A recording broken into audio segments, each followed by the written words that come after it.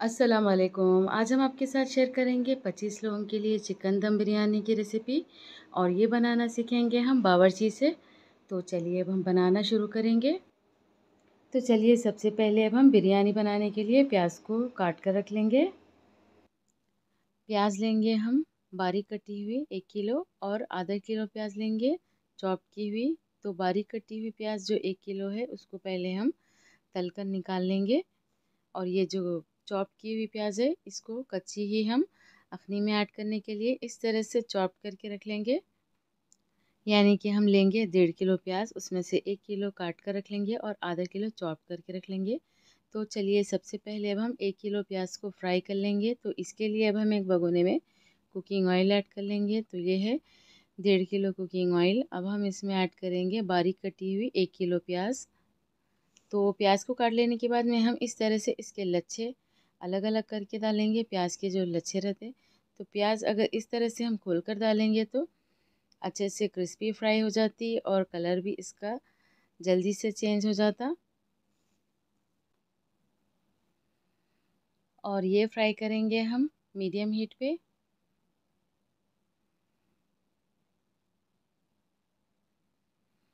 तो ये देखिए प्याज का जो कलर है, अब बादामी कलर में आ गया, प्याज अच्छे से क्रिस्पी फ्राई हो गई। अब हम इसको तेल में से इस तरह से अच्छे से छान कर निकाल लेंगे। तो प्याज को फ्राई करने के बाद में हम इसको कोई भी खुले बर्तन में अच्छे से फैला कर डाल देंगे इस तरह से।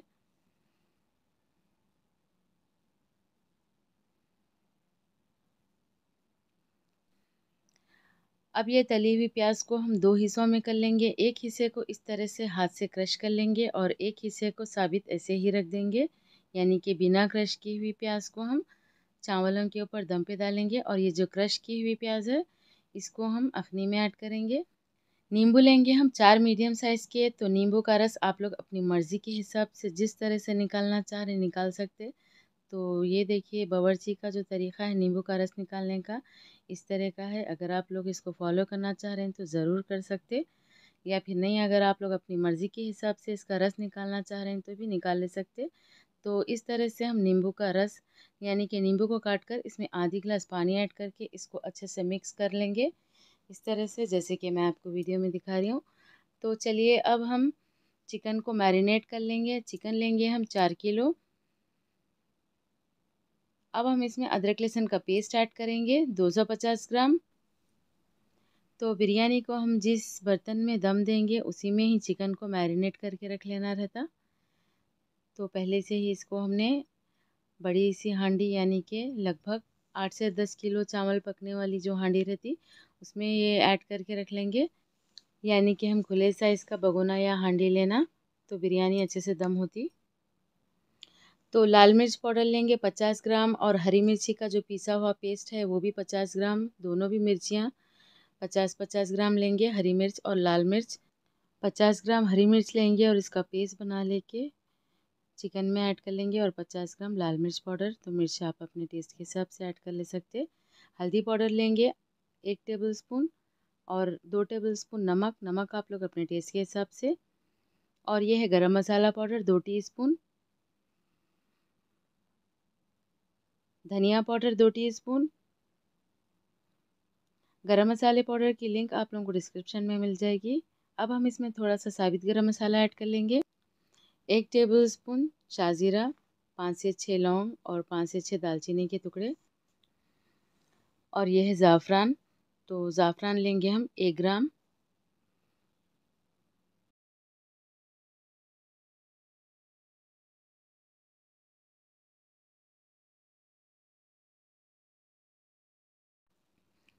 आधा किलो चॉप की हुई प्याज ऐड करेंगे अब।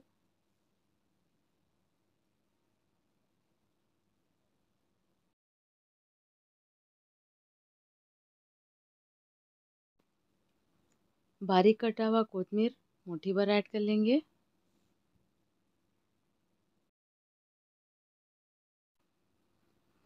बारीक कटा हुआ पुदीना मुट्ठी भर लेंगे।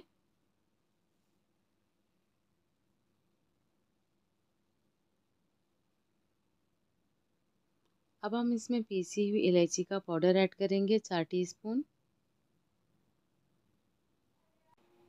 तो इलायची का पाउडर जब भी हम बनाएँगे, बिरयानी के लिए ख़ास तौर पे तो इसको हम छिलकों के साथ में ही पीसेंगे।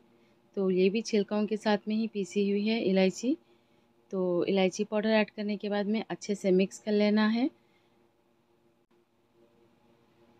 लगभग इसको मिक्स करेंगे हम दस मिनट के लिए। इस तरह से हाथों से अच्छे से मिक्स कर लेना है और इसके बाद में इसको रख देंगे हम कुछ देर के लिए, यानी कि 20 मिनट के लिए। सिर्फ़ 20 मिनट के लिए रखना है और इसके बाद में 20 मिनट हो जाने के बाद में दही ऐड करेंगे। दही लेंगे हम एक किलो।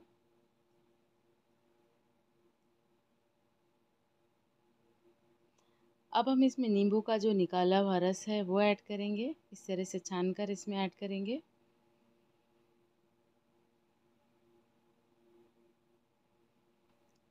प्याज का तला हुआ तेल ऐड करेंगे तो ये तेल है। लगभग 300 ग्राम। तो तेल की क्वांटिटी जो है, आप लोग अपनी मर्ज़ी के हिसाब से कम या ज़्यादा कर ले सकते। अब हम इसमें क्रश की हुई प्याज ऐड करेंगे, जो प्याज को पहले हमने तल के निकाल के रख लिया था। उसी में कि आधी क्रश की हुई प्याज इसमें ऐड कर लेंगे। अच्छे से मिला लेंगे अब।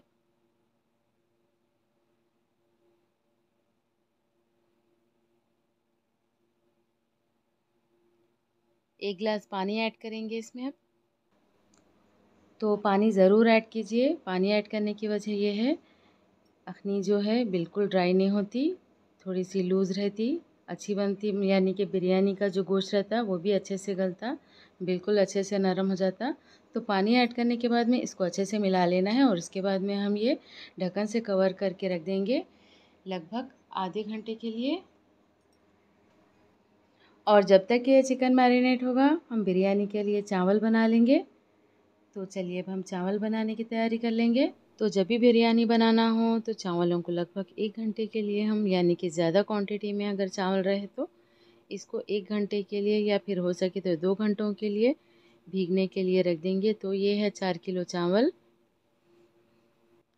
अब हम अधन बनाने के लिए उसका मसाला रेडी कर लेंगे। तो मसाले में लेंगे हम इलायची पाउडर दो टीस्पून, नमक लेंगे छः टेबल स्पून और शाज़ीरा दो टीस्पून, पाँच से छः लौंग और दालचीनी के पाँच से छः टुकड़े। चावल पकाने के लिए लेंगे हम दस किलो साइज़ का बगुना यानी कि दस किलो जो चावल पकते, वो साइज़ का भगोना लेंगे और इसमें पच्चीस लीटर पानी ऐड करेंगे।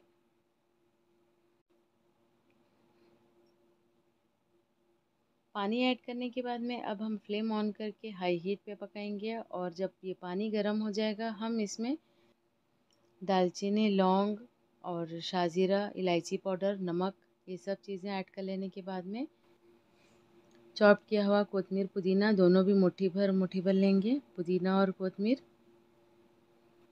अब ये पानी को पकने के लिए रख देंगे। जब पानी में अच्छे से उबाल आना शुरू हो जाएगा, हम इसमें भीगे हुए चावल ऐड कर लेंगे।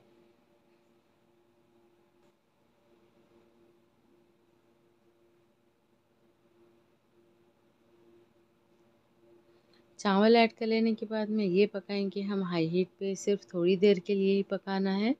ज़्यादा नहीं पकाएँगे क्योंकि ये कच्चे गोश्त की दम की बिरयानी है तो इसके लिए हम चावल कच्चे ही निथाल लेंगे।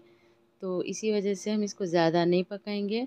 यानी कि चावल ऐड करने के बाद में इसमें जब उबाल आना शुरू हो जाएगा, सिर्फ़ दो मिनट के लिए पकाना है और इसके बाद में चावलों को हम निकालते जाएँगे और हांडी में ऐड करते जाएँगे।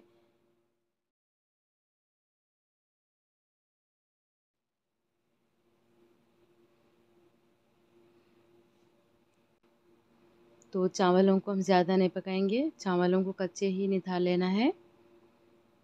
यानी कि ज़्यादा बॉईल नहीं करेंगे, सिर्फ़ दो मिनट के लिए ही बॉईल करना है और फ्लेम ऑन रख के ही हम इस तरह से, यानी कि चावल पकते ही रहते।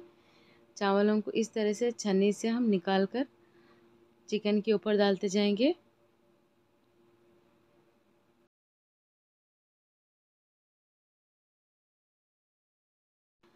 तो चावलों को अच्छे से छान लेने के बाद में अब हम इसमें से थोड़ा सा अधन का पानी लेंगे 500 सौ ये जो अधन का पानी है, हम इसको डालेंगे चावलों के ऊपर से। तो चावल जो है, कच्चे है, इसकी वजह से हम थोड़ा सा अधन का पानी डालेंगे तो चावल अच्छे से दम हो जाते। तो ये जो अधन का पानी है, इसमें हम थोड़ा सा घी भी ऐड करेंगे, लगभग सौ ग्राम घी ऐड करके इसको अच्छे से मिला लेना है। और इस तरह से हम फैलाकर चावलों के ऊपर से डाल देंगे। और लेंगे हम आधी गिलास पानी। पानी में थोड़ा सा येलो फ़ूड कलर ऐड करेंगे लेमन येलो फ़ूड कलर लेंगे। अच्छे से मिला लेंगे और इसके बाद में हम ये जो येलो फ़ूड कलर का पानी है, इसको इस तरह से हम चावलों के ऊपर से छिड़क देंगे। अच्छे से फैला कर छिड़केंगे इस तरह से। और ये है तली हुई प्याज। तो वीडियो की स्टार्टिंग में ही हमने प्याज को फ्राई करके निकाल लिया था। आधी प्याज क्रश करके इसमें ऐड करे थे अखनी में और आधी प्याज चावलों के ऊपर से डालने के लिए हमने बचा के रख लिया था। तो ये वही प्याज है। इस तरह से हम प्याज को भी डाल देंगे और इसके बाद में अब हम ढक्कन से कवर करके फ्लेम ऑन करेंगे और इसको पकाएँगे हम हाई हीट पे 20 मिनट के लिए। तो इस तरह से हम इसको फैलती हुई आँच के साथ में बनाएँगे। तो 20 मिनट तक इसको अच्छे से हाई हीट पे पका लेने के बाद में हम तवे को गरम कर देंगे हाई हीट पे। जब तवे में से अच्छा धुआँ निकलना शुरू हो जाएगा, चावलों की जो हांडी यानी कि बिरयानी की जो हांडी है, हम उसको तवे के ऊपर रख देंगे। तो तवे को पहले अच्छे से गरम कर लेना है। तवा लेंगे हम हेवी बॉटम वाला तो बिरयानी अच्छे से दम होती, दाग भी नहीं लगती। तवा अच्छे से गर्म हो जाने के बाद में हम बिरयानी की हांडी तवे के ऊपर रख देंगे। अब ये दम होने के लिए रखेंगे हम मीडियम टू लो हीट पे। 20 मिनट के लिए रखना है सिर्फ़ और 20 मिनट हो जाने के बाद में हम फौरी फ्लेम ऑफ़ कर देंगे। तो इसको अगर गरम तवे के ऊपर भी हम छोड़ देंगे ऐसे ही 20 मिनट के बाद में तो थोड़ा बहुत भी अगर बाकी रह गया पानी वानी जो भी हो, इसके अंदर का दम होने के लिए वो अच्छे से दम हो जाएगा। तो ये देखिए 20 मिनट के बाद में अब हमने फ्लेम ऑफ़ कर लिया है। ये बिरयानी बहुत अच्छे से दम हो गई। तो गरम तवे के ऊपर ही अगर हम छोड़ के भी रख देंगे तो बिरयानी ज़्यादा देर तक गर्म भी रहती, यानी कि फ्लेम ऑफ़ कर देने के बाद में इसको तवे के ऊपर ही हम छोड़ देंगे ऐसे ही। तो बिरयानी भी गर्म रहती है और चावल भी अगर दम होना रहता थोड़ा बहुत तो वो भी अच्छे से दम हो जाएगा।